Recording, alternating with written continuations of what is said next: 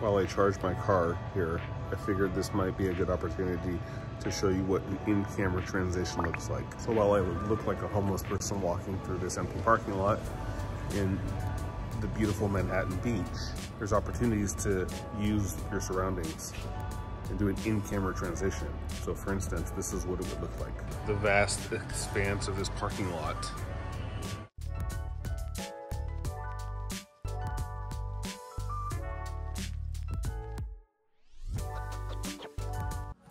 just like that, that's an in-camera transition. So going from one space to another and using a similar color wall or pillar or tree, whatever you have around you to your advantage and then doing an in-camera transition, you get that smooth change of location. It takes a little bit of planning. You want to make sure that you have something in mind to your future destination. But if you can do a little bit of planning, can do an in-camera transition like that and come up with something really cool. So, come to Manhattan Beach. It's beautiful down here.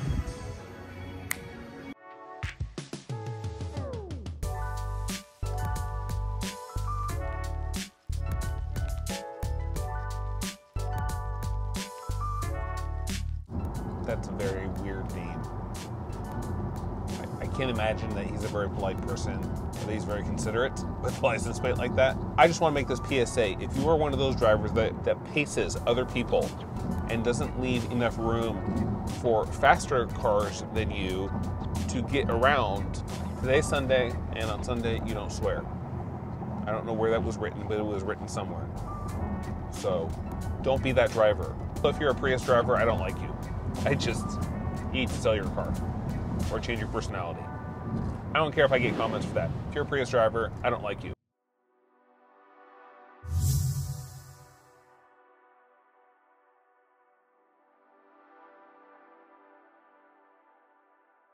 Honestly, it doesn't really feel like I'm driving.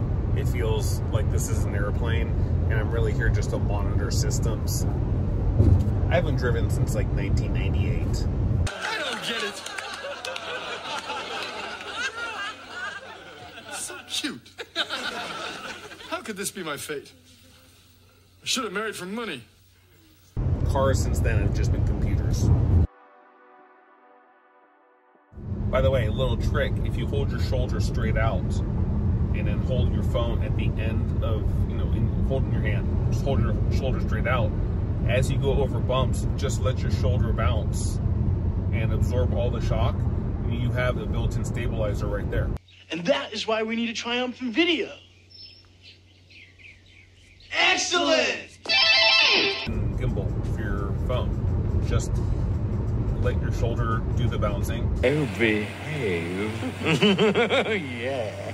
Yeah, baby. Yeah. not crazy amounts, but just use your arm as a suspension arm, and then there you go. And then the internal stabilization of your phone will take care of the rest. Anything beyond that, you can do a digital stabilization inside DaVinci Resolve or CapCut, and you have a really smooth shot. That's what she said. Another good one! You're on fire! Make sure it's as wide as possible. If you zoomed in, then it looks weird. You're going to get a lot of shake. Hey, how you doing? Oh, please. Hey, how you doing? But if it's zoomed out, no matter which side of the camera you're filming, you're going to get a lot less shake. You're going to get a pretty nice, smooth shot. Don't be afraid to be dramatic in your videos. Add something spicy. Yeah, no, I'm fine. I always react this way to spicy food. Okay. Yeah, but I love it. If you're going to film in locations like Pasadena that are very cinematic, it's best that you shoot on a phone, not a big camera, because they know that it's cinematic and you're going to get tapped with the film permit. Just a little heads up. Adding creative angles to your videos always helps out. Just make sure it's intentional.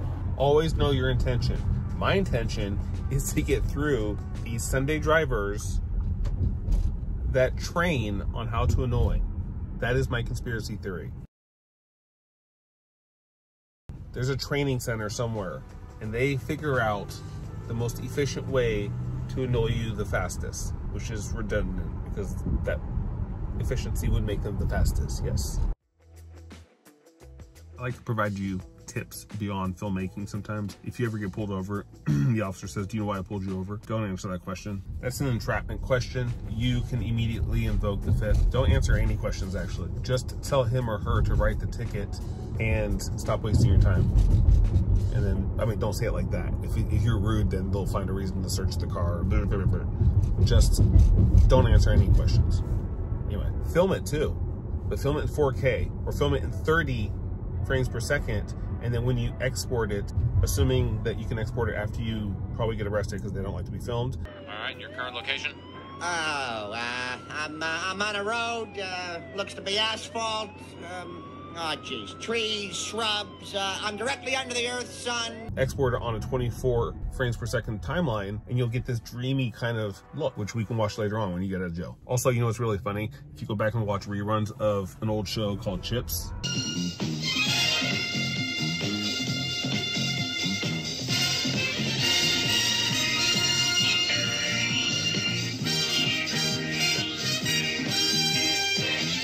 sometimes when CHP is writing you a ticket, if you just start whistling or humming the theme song, yeah, they don't like that. it's really funny. It is. They just take their job really seriously at CHP. I love you guys. Don't pull me over. I appreciate the service that you guys do on the freeway, especially when you escort Caltrans and the street sweepers at 11 o'clock in the afternoon on the busiest freeways. I appreciate you.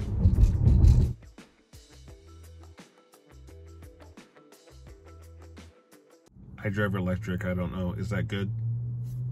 I think they've gone down. I don't know. Like the fruit gnats of the car world. Do Prius drivers know that the car does go above 25 miles an hour?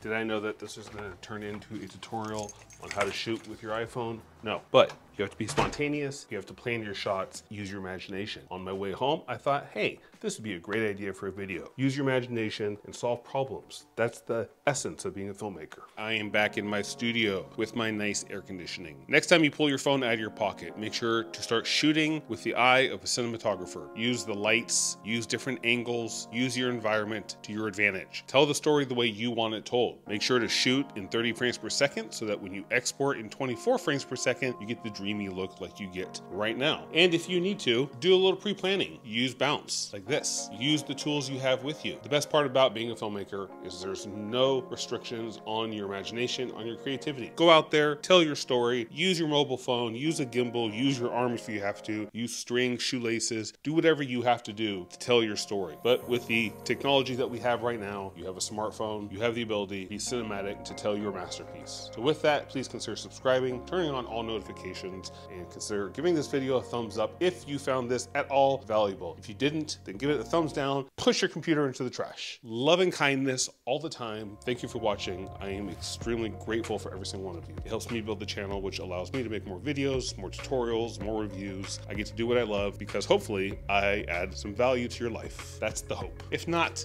then there's wine.